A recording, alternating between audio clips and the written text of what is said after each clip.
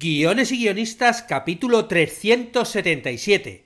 Hoy volvemos con las tramas de Ronald Tobías para conocer la trama de transformación.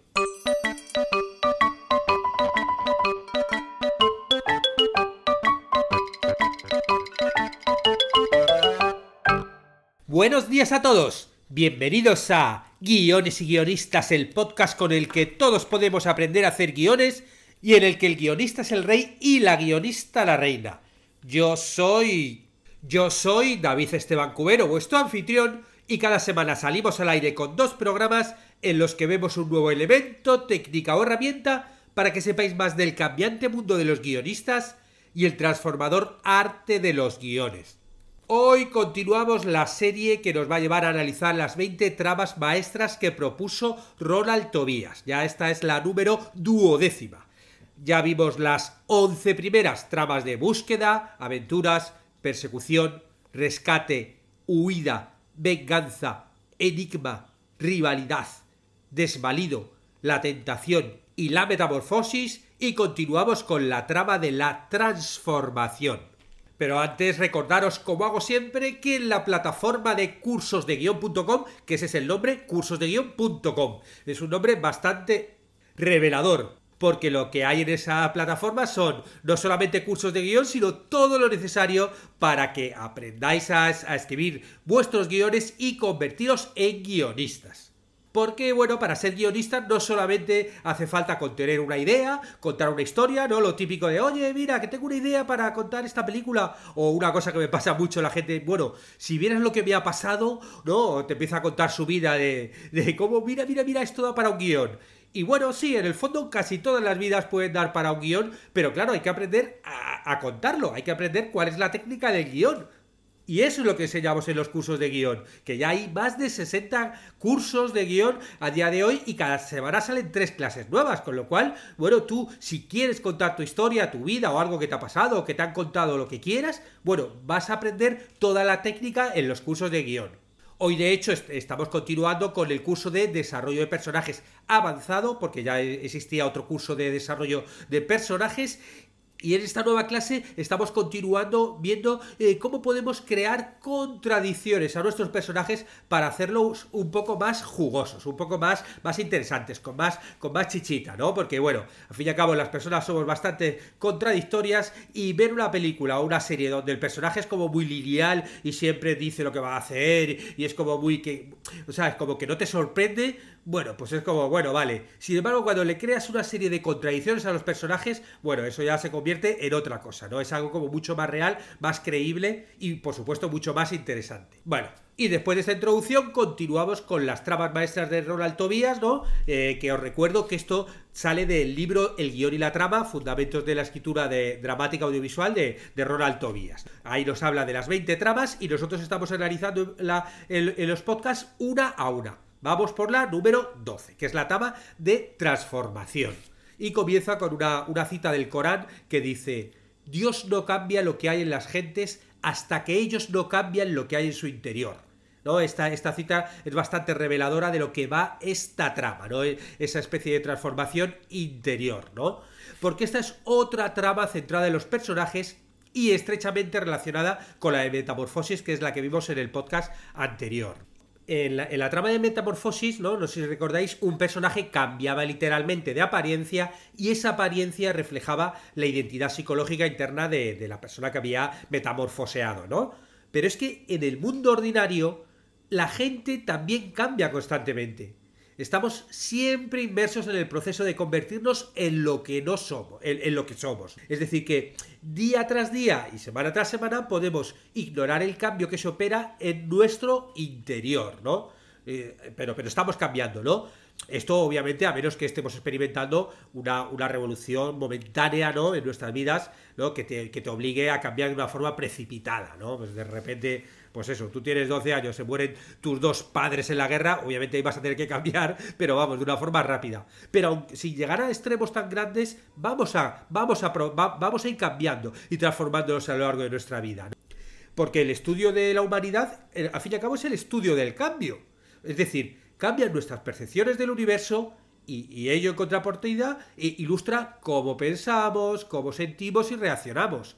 El hombre del siglo XX es muy diferente al del siglo XIX y al del siglo, al del siglo XXI. El, el tiempo, sin en cambio, no ha alterado ciertos aspectos de la humanidad. Y tenemos mucho en común con un ciudadano griego de Atenas de hace 3.000 años o con un comerciante egipcio de, de Memphis de hace 5.000 años, según cuenta Ronald Tobias. Las líneas maestras de la más básica psicología humana han permanecido inalterables. Nacemos, crecemos y maduramos y morimos. Esta experiencia común compartida es la base de la ficción. La trama de la transformación trata acerca del proceso de cambio que sufre el protagonista cuando atraviesa una de las muchas etapas de la vida. La trama aísla una parte de la vida del protagonista que representa un periodo de cambio trasladándose de un estado significativo del personaje a otro.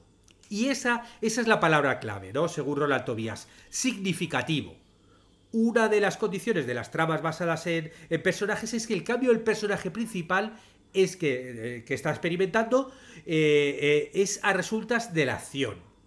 Es decir, que el protagonista por lo general es una persona distinta al término del relato de lo que era al comienzo del mismo. La trama de la transformación va un paso más allá al concentrar su atención en la naturaleza del cambio y en cómo éste afecta al personaje desde el principio hasta el final de la experiencia vivida. Esta historia examina el proceso vital y su efecto en las personas. Ante una situación dada, ¿cómo reaccionará una persona? Bueno, pues distintas personas pues reaccionan ante el mismo estímulo de, una forma diferente, como es obvio, ¿no? y de igual modo las personas se ven afectadas por los mismos estímulos de una forma diferente. Aquí, aquí es donde está la esencia de este tipo de relatos. Cuando nos acercamos a la madurez tenemos que aprender las lecciones del mundo de los adultos, ¿no? que es una experiencia nueva y a menudo incómoda para los que, los que están disfrutando de una infancia confortable, ¿no? Este sería uno de los momentos grandes de cambio, ¿no? Pero, por ejemplo, una guerra también te enseña lecciones. Nadie que haya entrado en combate puede evitar que esa experiencia le transforme. La, historia puede tratar sobre la auténtica naturaleza del coraje, como en las, obras de, Stephen Crane, la, roja insignia del valor, o, o, por ejemplo, en la, obra de Philip Caputo, A Rumor of War. La búsqueda de su identidad puede llevar a un personaje a los más oscuros recovecos de la mente humana intentamos casi siempre y, de forma insistente comprender quiénes somos y cuál es la esencia de la naturaleza humana. Y en ocasiones descubrimos aspectos de nuestro interior que nos horrorizan un poquito, ¿no? Como por ejemplo en la novela de, Stevenson, El Dr. Jekyll y Mr. Hyde, ¿no? Ahí el Dr. Jekyll descubre una vertiente siniestra y que el cambio puede conducir hacia la autodestrucción. Lo mismo puede pasar en otros relatos como por ejemplo la novela de H.G. Wells El hombre invisible. Las personas también cambian merced a los momentos dramáticos de transición. En la novela de Judith Guest, Gente Corriente, que hicieron una, una peli, bueno, pues se disecciona a la atormentada familia Jarrett. En apariencia se trata de una familia de clase media alta, confortable y feliz con su opulencia, pero tras la puerta se esconden secretos y unos aspectos desagradables que han comenzado a desvelarse. Una vez que los miembros de la familia se ven obligados a enfrentarse a estos aspectos, la situación los cambia para siempre. O, por ejemplo, los Kramer, en la obra de, de Avery Corman, Kramer contra Kramer, de la que también se hizo una peli, ¿no? Bueno, pues ellos se ven transformados por el trauma de un divorcio al tiempo que intentan encontrar una identidad nueva. Y en Perros de Paja, por ejemplo, otra, otra, otra novela de la que se hizo una, una película, protagonizada también por Dustin Hoffman, ¿no? Como la de Kramer contra Hammer, pues en esa peli un, tímido profesor de astrofísica descubre que existen circunstancias en las que la violencia es inevitable. Y durante el proceso descubre una parte brutal de su personalidad que jamás habría creído posible. Un poco pues como, como Walter White, ¿no? En Breaking Bad. Estas transformaciones a menudo no están exentas de un precio que pagar la obra de, Bernard Shaw, Pygmalion, es un magnífico ejemplo de transformación. En la pieza teatral, Henry Higgins, ¿no? que es profesor de fonología inglesa, transforma a Eliza Light, una florista, en una presunta dama inglesa al enseñarla a hablar un inglés cultivado. no solamente la transforma al enseñarla a, a hablar correctamente, sino que al hablar como una dama no la, no la convierte por eso necesariamente en una dama, sino que Higgins la manipula al elevarla de su condición humilde, adaptando su apariencia a la de las altas clases, ¿no? Una vez que Higgins ha terminado su obra con la muchacha, ella no puede volver a ser una, una, típica florista, ¿no? Ni tampoco seguir siendo la duquesa en la que ha sido transformada. Y Higgins se niega a aceptar su responsabilidad por haberla transformado. Y la ironía del relato es que Higgins no es un caballero, a pesar de que habla como tal. Altivo y distante se niega a admitir que Eliza ha provocado un cambio en su vida. Cree que es un hombre que no necesita a los demás hasta que Elisa lo, abandona. Y una vez que se da cuenta de su error, Higgins encuentra a Eliza y le suplica que vuelva con él para que vivan juntos y junto con el coronel Pickerhead como tres virtuosos solteros. Al final de la obra, él está seguro de que ella volverá, incluso a pesar de que la chica se despide de él para siempre la transformación de, personaje de Lisa también cambia a Higgins. Sin embargo, la obra no tiene un final feliz. Sau, ¿no? el autor, se resistió a proporcionárselo incluso cuando su público se lo exigió. La historia no trata sobre dos personas que se enamoraban, sino de mostrar el precio de entrometerse en la vida de otro. Pero el público, desde el estreno de la obra hasta, hasta nuestros días, todas las adaptaciones que se hacen, bueno, como que se niega a obedecer al autor. Pero este incidente que cambia al protagonista no tiene por qué suceder a una escala tan vasta y tan grande como la obra de, de Shaw. El dramaturgo Anton Chekhov demostró que en ocasiones los acontecimientos más pequeños pueden repercutir en nuestras vidas con la poderosa energía de una avalancha. El beso, ¿no? por ejemplo, de, de Chekhov, transcurre en un pequeño pueblo de la Rusia de 1880. El protagonista es un inepto teniente de artillería soy el oficial más tímido, modesto y carente de méritos de toda la brigada, se lamenta, ¿no? Y realmente es un torpe conversador, es un desastre como, como bailarín, o sea, como una mezcla patética de oficial y caballero. Y la ocasión tiene lugar durante un baile en la casa de un general retirado.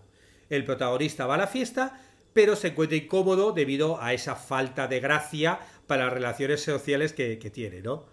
Y entonces recorre la casa desde la entrada a una estancia en penumbra cuando de súbito una mujer se arroja a sus brazos y susurra al fin en su oído y le besa en los labios. Y al darse cuenta de su equivocación, la mujer sale corriendo de la estancia antes de que el oficial pueda saber quién es. Y este, este teniente, teniente Riabovich, está asombrado. El beso ha penetrado en lo más profundo de su ser a pesar de que la habitación está demasiado oscura para identificar a la mujer, él ya ha cambiado cuando abandona la estancia, ¿no? Él de repente pues desea bailar, charlar, correr hacia el jardín, reír a carcajadas. Este es el punto clave de la primera fase dramática. El incidente que causa el cambio en la vida del protagonista. Puesto que esta trama versa sobre personajes, es importante saber cómo es el protagonista antes de que el cambio tenga lugar. Chekhov lo hace con unas cuantas pinceladas. Debemos comprenderlo bastante acerca del personaje antes del incidente transformador, ya que cuando esto ocurra entenderemos también cómo puede afectar al protagonista de una forma tan profunda. Un beso accidental recibido por una mujer misteriosa en la oscuridad habría de ser motivo de diversión para la mayoría de los hombres, pero no tendría el poderoso efecto que provoca en Riabovich. Sabemos que el teniente posee una escasa autoestima, que se siente solo y sin amor, ajeno al torbellino de las relaciones humanas. Así que de repente, cuando el beso de esta mujer le hace sentirse parte del mundo, comprendemos el porqué. Él estaba, como suele decirse, dispuesto de antemano para, para cualquiera hubiera sido un incidente insignificante. Pero para Riabovich es el momento de su vida. Riabovich se une a la fiesta, el beso se ha convertido en una especie como de fantasía romántica observa a las mujeres presentes en la fiesta y se pregunta cuál sería la que estaba en la habitación en penumbra. ¿no? Como que el misterio le, va como excitando ahí poco a poco. Y esa noche, antes de caerse dormido, la fantasía se ha realizado poderosamente en su imaginación. Y después del incidente incitador, empezamos a ver sus primeros cambios. Acción-reacción, causa-efecto. La personalidad del protagonista comienza a cambiar esta es una trama que sigue en proceso. Seguimos los cambios del protagonista mientras él va de un estado emocional a otro. Puede atravesar diversos estados durante el proceso a lo que finalmente desembocará. Es decir, que hay lecciones que aprender, reflexiones que hacer y aspectos que descubrir. Al día siguiente, Riabovich abandona el pueblo para ir a unas maniobras. Experimenta un momento de lucidez cuando trata de convencerse de que el beso carecía de significado, de que está haciendo una montaña de un grano de arena. Pero no puede resistir la tentación de la fantasía. De hecho, está como muy, muy ancladita en su cabeza. Pero no puede resistir la tentación. Y bueno, pues le cuenta un poco el incidente a sus camaradas oficiales, quienes se lo toman como se lo tomaría una persona normal. Para ellos es uno de esos momentos maravillosamente absurdos que, que pasan de vez en cuando, ¿no? Pero Riabovich se muestra decepcionado por su reacción, ya que en su interior la mujer misteriosa es su diosa del amor. La ama y desea casarse con ella, incluso comienza a fantasear con la posibilidad de que ella también le ame. Quiere volver al pueblo para reunirse con ella. Y en la segunda fase dramática vemos todos los efectos del incidente transformador.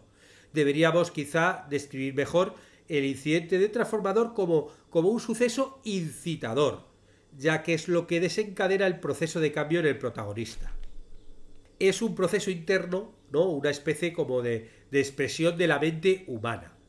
Cualquier acción que el personaje emprenda es una expresión directa de lo que el personaje está pensando, ¿no? Y la naturaleza del personaje, pues lo que hace es determinar la acción. Al igual que la naturaleza de Ryabovich, determina su resolución de regresar para reunirse con la mujer que está convencido que le aguarda. La tercera fase dramática contiene habitualmente otro incidente que define el resultado de la transformación. El protagonista ha llegado al término de su experiencia. Es normal que un protagonista aprenda lecciones distintas de las que se esperaba aprender. Las lecciones reales son a menudo las que se hallan ocultas o las lecciones un poco más inesperadas. Y las esperanzas se ven defraudadas. Las ilusiones son destruidas y la realidad se impone a la fantasía. Riabovich regresa al pueblo lleno de esperanzas ¿no? Y, la, y con, un poquito de inquietud, ¿no? Cómo la conocerá, de qué hablarán, ella no habrá olvidado el beso, ¿no? Se acordará de ese beso o no, y sabe que en cuanto al general eh, sepa que está en el pueblo, le volverá a invitar a su casa, y podrá volver a la habitación en penumbra donde empezó todo. Pero cuanto más cerca está de la casa, más incómodo se siente. Nada parece estar en su sitio los detalles que recordaba con tanta nitidez se han evaporado. El ruiseñor que cantó en mayo está en silencio. Los árboles y la hierba han perdido su débil perfume. De improviso, Riaboy se da cuenta de la auténtica naturaleza de su fantasía. Y el mundo entero, la, vida entera, parecía ser una broma incomprensible, sin sentido. Y cuando llega la invitación del general, Riabovich, en vez de acudir, va a su alojamiento a acostarse qué estupidez, qué estupidez, ¿no? Estaba como abatido por el descubrimiento. Qué estupidez es todo, ¿no? El incidente clarificador de la tercera fase dramática hace posible la auténtica madurez del personaje. Diabovich está apesadumbrado, pero es más sabio gracias a la experiencia. Con frecuencia esta es la lección de la vida, que la sabiduría va acompañada de la tristeza. Bueno, resumimos esta trama. 1. La trama de transformación ha de narrar el proceso de cambio que el protagonista experimenta mientras atraviesa una de las diversas etapas de la vida. 2. La trama tiene que aislar una parte de la vida del protagonista que refleje el proceso de cambio, yendo desde un estado significativo del personaje hacia otra. 3. La historia ha de concentrarse en la naturaleza del cambio y en cómo éste afecta al protagonista desde el principio hasta el final de la experiencia. 4. La primera fase dramática ha de relatar el incidente que lleva al protagonista a una crisis, crisis que inicia el proceso de cambio. 5. La segunda fase dramática, por lo habitual, ilustra los efectos de la transformación. Ya que se trata de una trama centrada en un personaje, la historia se vuelca en el autoexamen del protagonista. 6. La tercera fase dramática tiene que poseer un incidente clarificador que represente la etapa final de la transformación. El personaje comprende la auténtica naturaleza de su experiencia y cómo ésta le ha afectado. Por lo general, este es el momento de la historia en el que se manifiesta la auténtica maduración y la comprensión. Y 7. A menudo el precio del, del conocimiento conlleva una cierta tristeza. Ese sería el séptimo punto con el que terminamos esta trama, trama, trama que hemos analizado, la trama de transformación de, Ronald Tobías. Y acabamos ya con esto el podcast de hoy. No sin agradeceros a los que realmente eh, ponéis comentarios, ¿no? Que de vez en cuando leo en iTunes y que me da mucha alegría, ¿no? Y que ayudáis a que este podcast, bueno, pues, pues suba en los rankings y llegue a más gente. Y como siempre, Muchas gracias a los que os suscribís a los cursos de guion, ¿no? En la plataforma, porque ayudáis a que este podcast salga semana tras semana. Estaremos juntos los martes y jueves con nuevas técnicas, estrategias de análisis, para que aprendamos entre todos a ser mejores guionistas. ¡Hasta pronto!